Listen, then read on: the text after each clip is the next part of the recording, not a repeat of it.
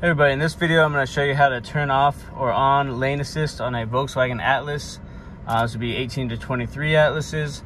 As you can see, the lane assist is on, indicated by this little um, lane light right there. It's yellow because we're not driving right now. It, it turns green when it picks up the lines on the road.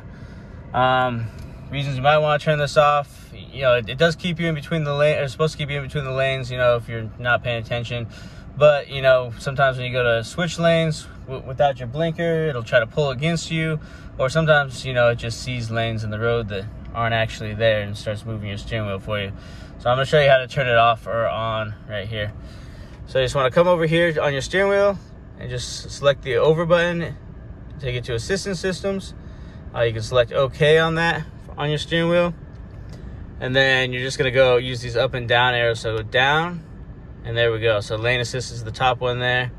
We can check that off. You can turn off, you know, some of these other ones, blind spot, front assist, um, but generally, I mean, I like to leave those ones on. So with lane assist selected off, you can just go back to your main menu now just by selecting the over button. And now just get back, back to your main menu. Put it back wherever you like, back on driving data. All right, I want to thank you for watching this video today. I hope you found this video helpful.